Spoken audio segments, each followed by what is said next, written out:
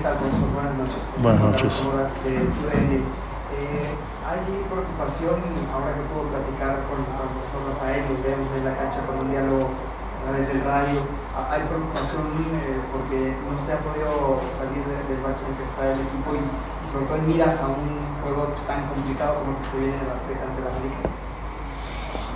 Sí, evidentemente cuando, cuando hay una derrota hay preocupación. Nosotros venimos intentando eh, ir acoplando el equipo y, pareciera que siempre te va sucediendo algún evento ¿no? que, te va, que te va limitando.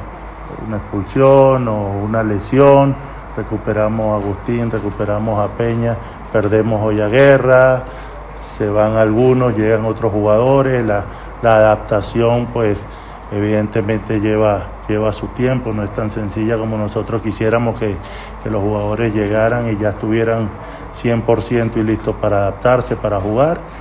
Y, justamente te, te, toca una semana complicada, con, con rivales bien, bien duros y, y además con, con, un equipo como Tigres que, que tiene oficio, que no te perdona los errores que puedas ir cometiendo.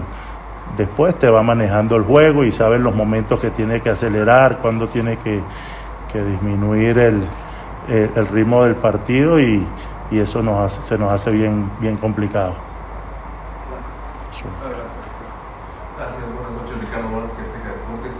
Una pregunta que quizás ya le hemos hecho tantas, tantas veces sobre el funcionamiento ofensivo.